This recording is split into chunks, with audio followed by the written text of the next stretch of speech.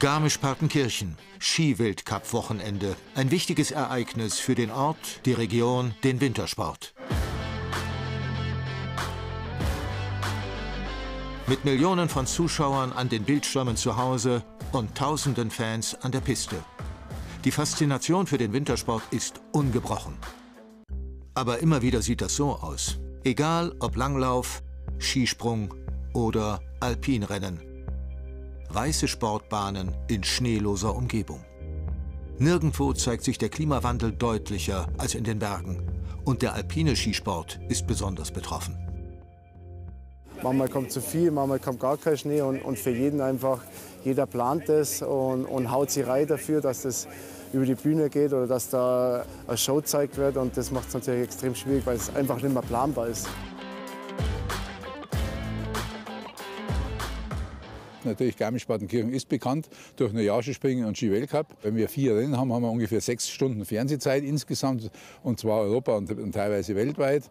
Äh, das ist natürlich mit nichts aufzuwiegen. Also der nervliche Druck geht's, geht's nicht, wettertechnisch, organisatorisch. Das ist Ärger geworden. Gestern haben wir zum Beispiel 50 cm Schnee oben gehabt und morgen haben wir dann 15 Grad plus. Das sind Extreme, wo sich der Veranstalter brutal darauf einstellen muss. Das Ergebnis ein immer höherer Aufwand. Wochenlang schuften Hunderte von Helfern, um die Rennpiste für die Abfahrt zu präparieren. Und ohne Kunstschnee läuft schon längst nichts mehr. Es gibt kein Weltcuprennen mehr auf Naturschnee. Das gab es, seit es den Kunstschnee gibt, fahren wir auf dem Material, auf den künstlichen Schnee. Das ist einfach so. Und wir sind im Endeffekt nichts anderes wie ein Circus Maximus. Es sind Athleten, die erfreuen ein gewisses Publikum. Und das kann man nur mit dem Kunstschnee machen. Aber nicht nur die Profis sind betroffen. Sieben bis acht Millionen Bundesbürger fahren laut Deutschem Skiverband regelmäßig Ski oder Snowboard. Und auch für sie werden die Pisten aufwendig präpariert. Wie zum Beispiel im Sudelfeld, eine Autostunde südlich von München und eines der beliebtesten und größten Skigebiete in Deutschland. Kunstschnee ist da in die Hauptpisten, auch überall im ganzen Gebiet. Und da haben wir bis zu 70 cm Schnee drin. Der hält uns also locker durch bis Ende der Saison, also bis Ostern.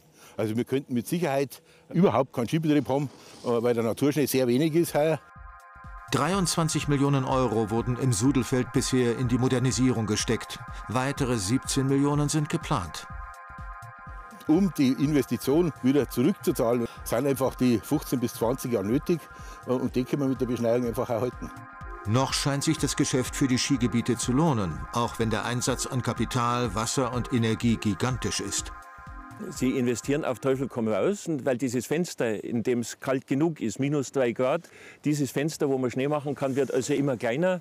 Das heißt, dieses Spiel kostet immer mehr und heute sind also schon 40 Prozent einer, eines Tagesskipasses in Beschneiungskosten.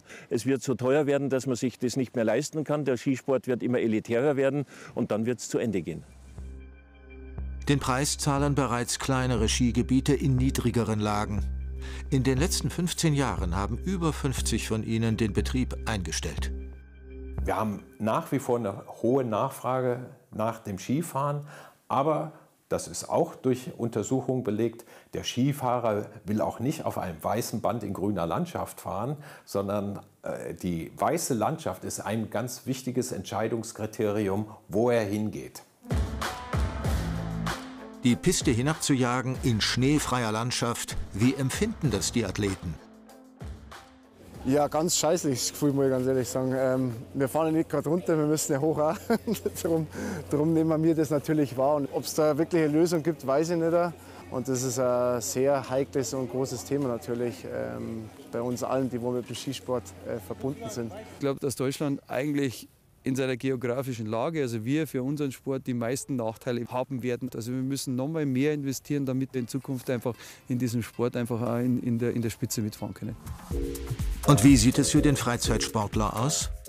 Für die breite Masse der Skifahrer werden wir sicherlich im Alpenraum eine Konzentration auf weniger Skigebiete haben, die aber dann quasi Gewinner des Klimawandels sind. Also die Hauptforderung ist, äh, fahrt Ski, äh, wenn Schnee da ist. Aber Schnee heißt Schnee, den die Frau Holle gemacht hat und nicht diese kleinen Eiskugeln, die uns die Schneekanonen bescheren. In Zeiten des Klimawandels, wohin führt er, der Weg des deutschen Wintersports? Das ist eine gute Frage. Bei uns im Studio ist Volker Angres, der Leiter der ZDF-Umweltredaktion. Herzlich willkommen, Herr Angres. Hallo. Ja, dann äh, greifen wir diese Frage doch gleich mal auf. Wohin führt er denn der deutsche Weg im Wintersport? Ganz klar, die Richtung nach oben heißt es, nämlich in Höhen 1500, 1800, möglicherweise sogar 2000 Meter, wo dann noch Wintersport möglich ist. Und das heißt natürlich, da drängt sich dann irgendwann alles. Und ökologisch gesehen ist das nicht so toll. Das geht nämlich in die Richtung Übernutzung, wenn ganz viele Menschen auf einer relativ kleinen Fläche dann Wintersport treiben. Das wird nicht so toll sein, also keine guten Aussichten. Aber wenn ich das richtig verstanden habe, ist die Alpenregion vom Klimawandel besonders betroffen. Das ist so. Also wir reden global äh, über eine Erwärmung von ungefähr 0,8 Grad im Durchschnitt global. In den Alpen, im Alpenraum ist es fast schon plus 2 Grad wärmer geworden. Und das liegt einfach daran, in dem globalen Wert, da sind die Ozeane enthalten. Und Wasser erwärmt sich wesentlich langsamer als die Landmasse. Kennt jeder vom Strand. Strand wird heiß, geht man ins Wasser, ist es immer noch relativ kühl. Genau das passiert in den Alpen. Und es kommt noch ein Effekt hinzu, nämlich in dem Maße, wo wir weniger Schnee haben und auch die Gletscher sich immer mehr zurückziehen, dann wird weniger Sonnenlicht ins All zurückreflektiert. Nochmal so eine Art Wärmeturbo für den Alpenraum. Und die Gletscher, um das noch anzufügen, 30 bis 40 Jahre werden wir sie noch haben. Und dann, das sagen die Klimaforscher, sind sie verschwunden.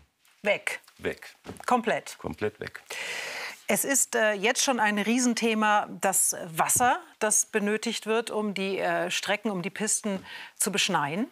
Richtig. Also wenn die, wenn die Gletscher verschwinden, das verändert natürlich den gesamten Wasserhaushalt im Alpenraum. Die genauen, die genauen Folgen vorherzusagen, das ist natürlich sehr, sehr schwierig. Aber man kann sich natürlich vorstellen, weniger Wasser, auch im Sommer, das wird natürlich die Vegetation im Alpenraum beeinträchtigen. Dort haben wir sehr viele sensible Pflanzen, sogenannte endemische Pflanzenarten, die nur dort vorkommen. Die sind dann hochgefährdet. Natürlich auch die Wasserversorgung der Ortschaften. Und jetzt gerade im Winter, wo wir ja den Wintersport haben, das Skifliegen, was wir ja heute im Programm haben, ja, das funktioniert natürlich nur, wenn es künstlich beschneit wird, künstliche Pisten gibt und der Wasserverbrauch ist einfach enorm. Sie, man braucht ungefähr zwei bis vier Millionen Liter, zwei bis vier Millionen Liter für nur einen Hektar künstliche Piste. Damit das ein bisschen klarer wird, wir stellen uns schnell mal ein Schwimmbad vor, Sommer, 50 mal 20 Meter, so ein schönes Schwimmbad. Ja, und da passen gerade mal 1,5 Millionen Liter rein. Das heißt, wenn wir ganz schnell rechnen, das sind so ungefähr zwei bis drei Schwimmbäder Wasser. Genau, so in der Vollwasser für einen Hektar. Ja. Äh, über wie viele Hektar Piste sprechen wir, die beschneit werden müssen? Das ist der Hammer. Der Bund Naturschutz hat ausgerechnet, dass es ungefähr Achtung, 70.000 Hektar gibt, die künstlich beschneit und aufgebaut werden müssen, damit Wintersport möglich ist. Und unter dem Strich, man glaubt es kaum, nur in einer Saison ist das der dreifache Wasserverbrauch der Stadt München für eine Saison Wintersport in den Alpen. Was ist das für Wasser, das da verwendet wird? Ist das reines Wasser oder ist da noch irgendwas zugesetzt? Normalerweise ist es äh, reines Wasser, bei uns zumindest. Aber in verschiedenen Ländern, Schweiz, Frankreich, USA, sind bestimmte Zusatzstoffe erlaubt. Das sind dann Eiweiße und die bilden dann solche, solche ja, Eiskeime, dass sich sozusagen schneller das Eis bildet und der, die Beschneiung auch bei Graden etwas über Plus dann erfolgen kann. Bei uns und in Österreich ist es verboten. Aber damit die Rennläufer die gleichen Startbedingungen haben, ist ja ganz wichtig. Es kann ja nicht, der zuerst läuft, hat andere Bedingungen wie der, der am Schluss läuft. Kann ja nicht sein. Also es muss möglichst gleich sein. Und dazu werden sogenannte Düngesalze eingesetzt. Das ist eigentlich Dünger aus der Landwirtschaft. Der wird über die Piste aufgebracht. Und das führt dann eben dazu, dass die, die Schneeoberfläche gleichmäßig hart wird. Also einen gleichen Zustand hat, damit alle wirklich die gleichen Bedingungen haben haben. Nachteil, irgendwann taut ja alles weg. Und dann haben wir diesen Dünger in der Landschaft, in der Vegetation. Und das führt regelmäßig zu einer dramatischen Überdüngung an diesen Hängen. Und dadurch gehen die Pflanzen an dieser Stelle kaputt.